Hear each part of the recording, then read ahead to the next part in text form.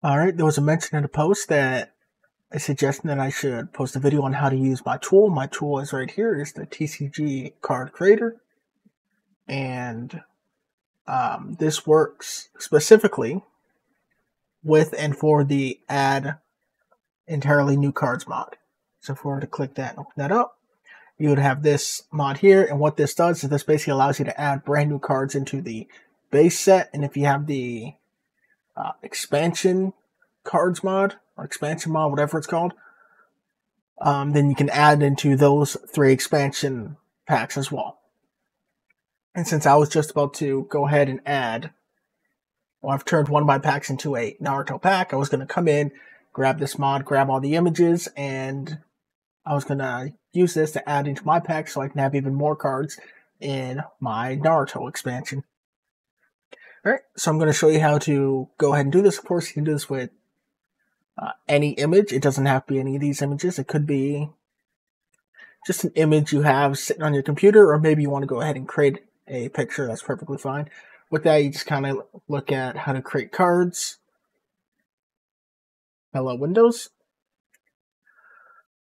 Where you just go ahead and take a look at how to create cards. The resolution that you'd uh, use typically there is going to be 410 by 512 if you wanted to create one by uh, yourself. And that's going to be your full art resolution. So keep in mind when it's not full art, part of that is going to be cut off by the other portions of the card, right? The text box, uh, the stats at the bottom, the nameplate at the top, the border. But for now, I'm going to go in. I want to use, I want to take these images and add them to my packs myself. So I'm going to go ahead and just go ahead and download those. Yes. All right, so it doesn't really matter where your uh, images are, just matters that you know where they are. All right, so what we're going to do is we're going to go into our images here, and we're going to rename them whatever you want the card to be named. And for example, if you have multiple cards that you want with the same name, um, as an example for, uh, let's see, what duplicates do we have here? Uh, ones that are going to jump out at me right here. Right, say say we got uh, Kakashi here. That is a large image, right? But we got Kakashi here, and we got Kakashi here, and maybe we want both of these names to be Kakashi. Oh, we even have one down here.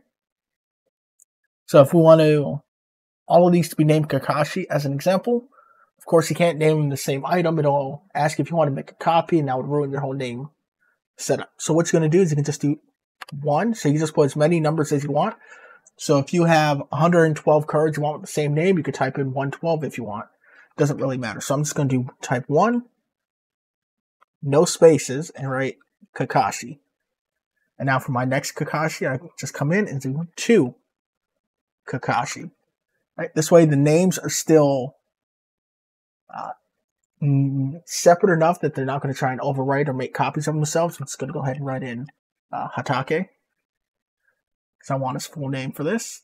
Right, Kakashi Hatake, Hatake. Right, so I'll go ahead and write that in. And what I'll do is I'll basically just come in at the top and I'll take a look. I'll be like, all right, that's a Hiruzen Sarutobi. So I'll do one. Hiruzen, I hope I'm spelling this right. Sarutobi. Look at the next one. Cool. That's a Tobi. So I'm just going to go one Tobi. And this way, if I come across, say, another Tobi, I do two Tobi, three Tobi, four Tobi. Right? And so on. So let's take a look at that. That's a Sasori. So I'm just going to do one Sasori. Uh, and it looks like I missed one here. So I have to come back and do this. Um, so I'm just going to go ahead and rename all my images here to the names that I want my cards to be, and I'll see you in a moment. Alright, so I got all my cards named the way I want them. So, for example, I've got one Sasori there, and some crazy. Pretty sure there's a second one, uh, but I'm probably crazy. Uh, but well, there's another one, two Anbu Itachi and one Anbu Itachi. These numbers are perfectly fine because they are going to be removed when they get created. Now, if you haven't already, you can go ahead and come in and download my tool, TCG Card Creator. And if you go ahead and give that a run, Go ahead and give that a run, give that a sec to boot up. Uh, you'll have two options. Now, if you don't have any uh, any cards, then of course you can go on in and select new card. And if you haven't, you could, or if you do have an image, you can use use image. Now, if you go to new card, uh, actually, I'll show you that in just a sec. I'll go to use image first, and that's going to pop up with your little browser, a little file, file explorer. I'll go ahead and copy my path to my images and paste that in. And oh, I see a naming error. I have a space in there. I don't want that. Let's remove that. Quick check, make sure I didn't do that somewhere else. It doesn't look like it. Uh, but I come in and I can just control A, select all my images, hit open. And now uh, the package you want to add it to is going to limit your range. So Megabot can only go uh, 1113 to 1998. Tetramon can go uh, 998 uh, to 122, uh, and so on, right? Now, for me, Cat Job is the name of the pack. That is my Naruto pack, and my cards take me up to the ones that I currently have.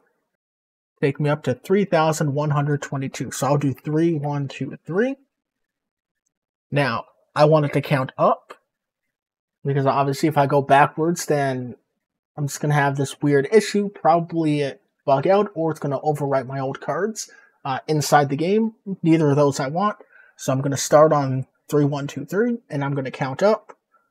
But if you want to be like super safe, super safe, of course, uh, you can always go 3998 and have it count down. So if you want to start at the largest number and move down, you can do that. Or if you have none of these installed to begin with, of course, you can always start down at the at the bottom of 3040 and count up. But again, I have to start at 3123 just so I don't overwrite any cards or have any weird issues. So I've selected my images, I've selected my pack, I selected the ID I'm going to start at, and I've decided if I'm going to count up or down. In my case, up, I'm going to hit generate cards, creating, and it's done. It's already created all of my cards necessary. So if I go into uh, where the mod is located, so that's going to be your TCG location where you've installed it. BepInEx, Patchers, TCG Shop, New Card Mods Preloader. Inside of Monster Images, as you can see, here's 3122. And here's all my new cards. 3123. Go ahead and select those right there. So there's all the new ones that I just named and uh, we added into the game. Now that's just moving the pictures over and naming them with the correct IDs. Uh, but likely, just like our with that as well, we go into monster configs here, and we see 3172, 3171, 3170, 3169, etc. These are the actual card data, and technically, all you need is this data to show up in the game, and you'll be able to find your card. Or your card will technically exist, it just won't have an, ish- an image unless one is assigned to it. So, for example, this is 3172. I'm going to go ahead and just reboot that real quick. And I just rebooted it because I didn't have my back button I'll put in there, but why would you? I don't really know why you would need to go back and forth. But anyway, uh, if you were creating a new card, you would just go new card. You can put a name in here. Say this is the ultimate test, right? And you can go ahead and give it an artist name. You can choose the pack just like you did before. Uh, I'll use Cat Job and 3172. I'm going to use 3173 so that we can add in right at the very end. And your element index, so this is going to affect like your the border, the back or not the border, but the uh, background of your card. So what kind of element it is. Uh, in our case, since we don't have an image for this, it doesn't really matter. Rarity, this is going to affect what pack it comes in, whether it comes in the common pack, the rare, the epic, or the legendary. Uh, rolls at this moment, since we don't have a, an actual card game, rolls do nothing. Same with skills. You've got your card description box. This is my test card. You can set up your evolutions. So, for example, if I wanted this to evolve from uh, let's say uh, Reem here. I put in her ID. So previous evolution, let's go with that. We'll do 3167 RIN. Type that in exactly, and the same with the stats. If you want to change those, you can. At the moment, they don't affect anything until we actually get a proper card game put in. But I can just hit generate. Now take a sec, and there it is. I just refresh this list. We can see right here, 3173, the ultimate test has been added into the game. So if you're going to add a new card, it's as simple as just fill it out and hit generate. If you're going to add an image, select your images, select your ID and, and the pack, hit generate, and I'll see you in a moment when I boot up the game. Alright, so again, I got my cat job named, uh, my cat job pack. I've named it Naruto, so if I go in there, we look at the Naruto cards. We can see all the cards that I had previously, and I'm just going to go ahead and skip ahead. And we can see, oh, those were already in the game. I'm skipping forward. And we should be running into them. Yep, there they are. So we can see the new cards in here uh, with Genma, Tobi, Konan, Anbu Itachi, Kyuubi Naruto.